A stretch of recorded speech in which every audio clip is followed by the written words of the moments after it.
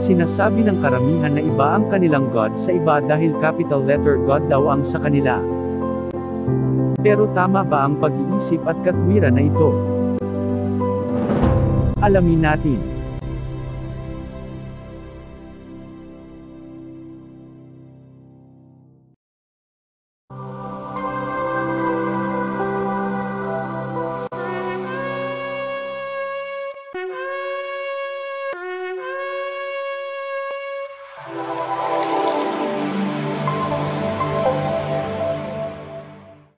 Magandang araw, welcome sa Ofarim channel. Nais namin makapagbigay ng karagdagang linaw sa mga katotohanan ng buhay ng tao sa paraan na madaling maunawaan ng ating mga kababayan, nawa ay makatulong at maging beneficial ito sa inyo. Kaunting pakiusap lang po, paki-like, paki-subscribe, at paki-press ang notification bell para malaman mo agad ang mga susunod naming videos. Salamat at mabuhay ka, kababayan!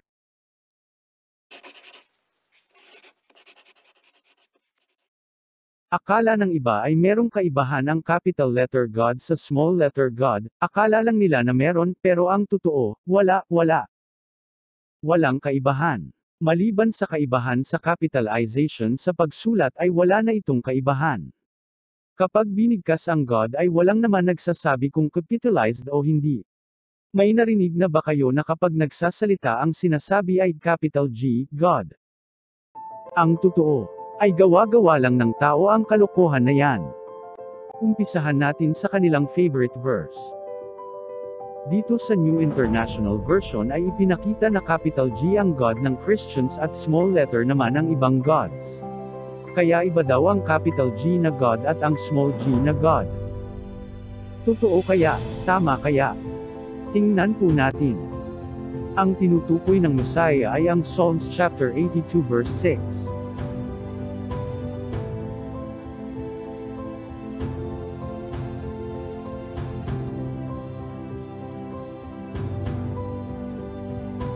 Pero kung titingnan sa Hebrew Scriptures, makikita na wala namang kaibahan. Ang capital letters na God ay isang kasinungalingan. Ginawa lang ito ng mga English Bible translators bilang solution sa isang error na sila din ang may kagagawan. Ang tawag dyan ay reverential capitalization. Ito ay isang tradisyon na ginagawang uppercase or capitalized letter ang divine names. Hindi lang names, kundi maging ang mga divine titles, nouns, pronouns, etc.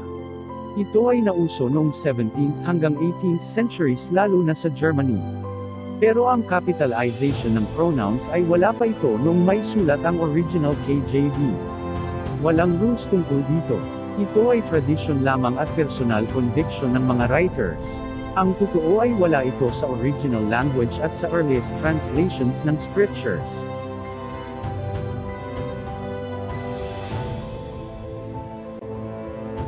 Sa Hebrew writings or script ay walang capital letter at small letters mula noon hanggang ngayon. So walang saysay ang kanilang capitalization. Kaya paano mo sasabihin na ito ay isang mahalagang panimulang aralin sa pananampalataya?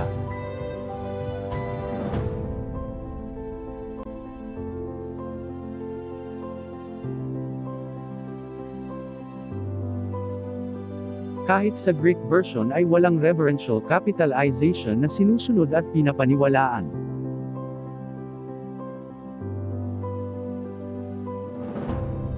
Alam nyo ba na ang original Septuagint ay walang small letters at walang spaces at punctuations? Sa Coin Greek translation ay uncial o majuscule letters ang ginamit na puro capital letters, at walang spaces.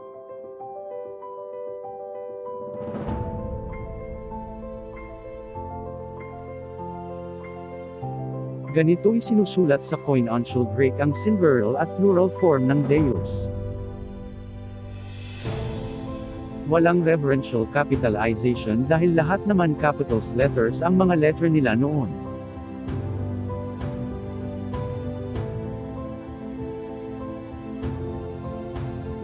Kahit sa more modern Greek writing system na meron ng uppercase at lowercase letters ay wala pa din reverential capitalization sa Deus.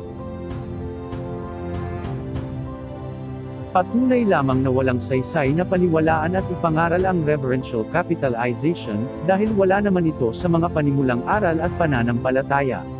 Ito ay isang pikit matang paniniwala ng mga tao ngayon, at isang mababaw na pag-iisip para sa isang modern believer.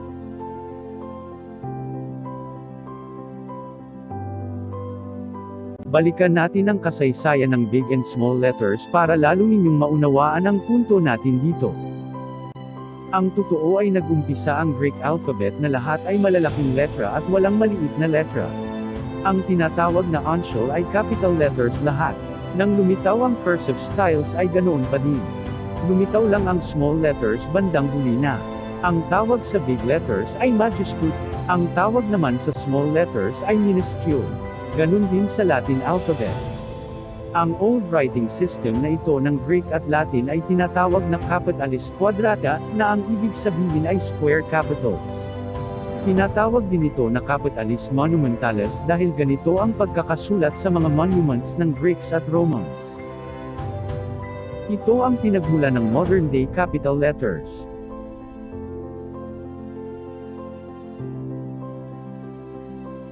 The Greek and Latin letters originally written in all capital letters called uncial. Ang uncial ay mula sa Latin word na uncialis na ang ibig sabihin ay an inch. Ito ay nauso noong 4th to 8th centuries. Ang cursive ay mula sa Latin word na cursivus na ibig sabihin ay running, ibig sabihin ay dikit-dikit at patuloy na pagsulat. Ito ay bunga ng writing systems development bago pa dumating ang 8th century. Mas nagustuhan ito ng mga writers kasi mas madali at tipid na pagsusulat noong araw. Ang majuscule na ibig sabihin ay large, ay tawag sa big or uppercase letters. Ang minuscule na ang ibig sabihin ay very small, ay tawag sa small or lowercase letters. Ito ay mula sa development ng cursive letters ng mga Greeks at Romans. Ang small letters ay lumitaw lang noong 9th century, sa panahon na ng Byzantine Empire. Around year 800 CE, nang maupo sa trono si Charlemagne bilang unang emperor ng Holy Roman Empire, ay gumawa siya ng education reform. Siya ay mula sa Frankish tribes na kasama sa Germanic-speaking tribes na sangikop sa Western Roman Empire. Ang hawak noon ng Franks ay ang modern-day France, Belgium at West Germany. Ginawa niyang standardized ang writing system. Ang letrang ginamit nila noong panahon na yon ang tinatawag na Carolingian minuscule. Mula noong panahong yun ay nagsimulang maghalo ang capital letters at small letters. Nang maimbento ng German na si Johannes Gutenberg ang printing press noong 1436 ay dito na ibatay ang mga letters. Ang mga letters na gamit sa printing ay nakalagay sa magkaibang wooden cases at tinawag ito na uppercase at lowercase. Malinaw na kung anuman ang reverential capitalization na meron ngayon ay imbensyon lang ng mga tao. Ipagkakatiwala mo ba ang pananampalataya mo sa bagay na imbensyon lang ng mga tao? Ang paliwanag o palusot ng iba kung bakit ginagamit pa rin nila ang practice na ito, ay dahil nang maging lingua franca, o universal o international language, ang English, ay na-adopt ng lahat ang salitang God para masabi sa English ang kanilang deity o sinasamba. Kaya para maging distinct ang God ng Christians sa God ng other cultures at religions ay ginawa nila itong capital. Napatunayan na natin sa naunang video na hindi totoo ang pangangatuwiran na yan. Gaya nga ng paliwanag ng Catholic Encyclopedia.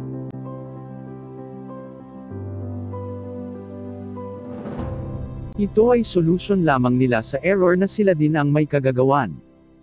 Yan ang problema, kapag nanghihiram ng ibang salita mula sa ibang wika, na hindi naman ganap na nauunawaan, at kapag isinasalin ang hindi naman dapat isalin. Yan ang isang malaking error of translations.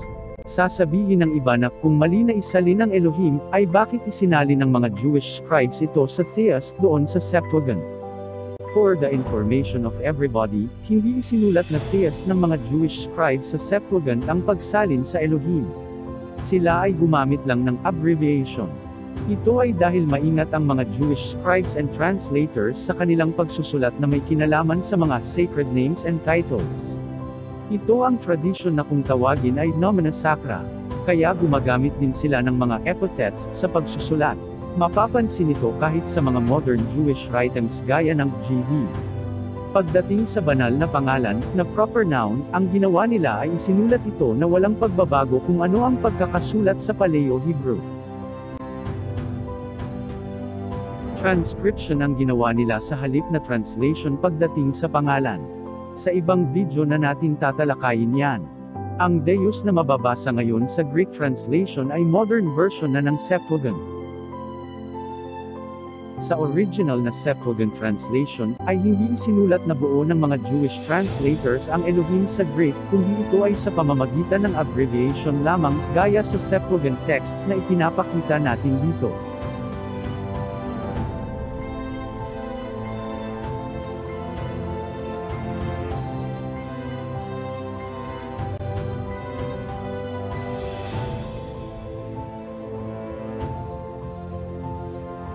Mas lalo na pagdating sa divine name o tetragrammaton. Hindi isinasali ng divine name sa early translations ng Hebrew scriptures. Hindi nila ito isinusulat sa letra ng ibang language. Ang original form na Paleo-Hebrew texts ang ginagamit. Kahit na sa Aramaic translations o Square Hebrew ay Paleo-Hebrew script pa din ang ginamit. Ganyan po iginalang ng mga sinaunang scribes ang mga divine words sa pagsalin sa ibang language. Kabaliktaran sa ginagawa ng mga tao ngayon, na kung gaano na lang na binabastos na tawagin ang Elohim sa salita ng mga barbaro. And yet they call themselves educated and civilized. Ang totoo, ay kapag sinambit ninyo man ang salitang God, ay wala itong kaibahan. Wala itong pagkakaiba sa gods ng iba. Tuldok, ipinapakita lamang nito kung ano at sino talaga ang sinasamba ng mga tao ngayon. At kung gaano kababaw ito. Alam nyo ba na ang pangalan ng karibal na Elohim sa Bible ay si God? Nakasulat yan sa Isaiah chapter 65 verse 11. Nakita nyo ba? Hindi nyo makita sa NIV, ano? Tingnan natin sa KJV. Nabasa nyo na ba? Hindi pa rin ninyo makita ano? Iyan ay dahil ito ay tinakipan ng mga English translators para hindi mahalata na ang God pala ang pangalan ng kaaway. Isang demonstration yan kung gaano kalaking kalokohan ang ginagawa ng mga English translators ng Biblia. Isang patunay na mali talaga ang kanilang ginagawang translation process. Dinadaya tayo sa pamamagitan ng translation malpractices.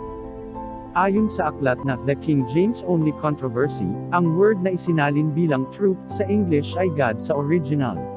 Ano itong God? Hayaan po natin na ang mga KJV translators mismo ang magpaliwanag. Sa mga lumang kopya ng KJV ay mababasa natin sa mga side notes ang paliwanag na ito daw ay God. Ayan malinaw na God pala dapat ang nakasulat dyan pero isinali nila bilang truth. Alam naman pala nila ang katotohanan pero mas pinili nila ang kasinungalingan. Mapapansin na nag-uumpisa ito sa capital letter kaya nangangahulugan ito na isa itong proper noun. Kung gayon ay sino si God? Konsultahin din muna natin ang Webster's Deluxe Unabridged Dictionary kung ano ang masasabi tungkol sa God.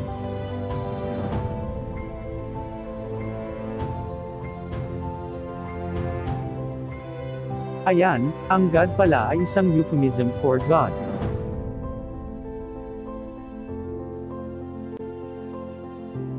Malinaw pala na ang GOD at GAD ay iisa lang. Sino ang God na ito? Ayon naman sa Unger's Bible Dictionary, ang God ay isa sa mga pangalan ni Baal bilang si Baal God na katulad ng modern word na Lord God. Si Baal ang chief male god ng mga Phoenicians. Ano naman ang kaugnayan ni Baal sa Bible at sa tinatalakay natin? Kagaya ng sinasabi kanina, na ipinagpalit ng mga Israelita ang Elohim sa God, ay ganoon din na ipinagpalit siya kay Baal. Kaya malamang na si God at si Baal ay iisa lang, at walang iba kundi ang tinatawag na Baal God o Lord God. Sa ibang video na lang po natin tatalakayin ang tungkol sa God na sinasabi sa Bible at si Baal. Kaya mag-ingat sa mga tinatawagan mo. Mas mabuti pa na ang original word na lang ang sasambitin dahil wala namang dahilan na hindi mo masambit ang Elohim, at mas safe ka pa. Ano nga ulit ang sabi ng Torah? Ito po ang inyong pocket tandaan. Huwag na huwag kayong sasambot o tatawag sa pangalan ng ibang Elohim. Huwag na huwag na ito mapapakinggan sa inyong mga labi. Kabilin-bilinan niya ng Elohim sa kanyang Torah. Huwag na huwag sasala ulain o babastusin ang pangalan ng Elohim. Huwag itong ipagwawalang halaga. Sana ay patawarin kayo at huwag nang magkasala pang muli.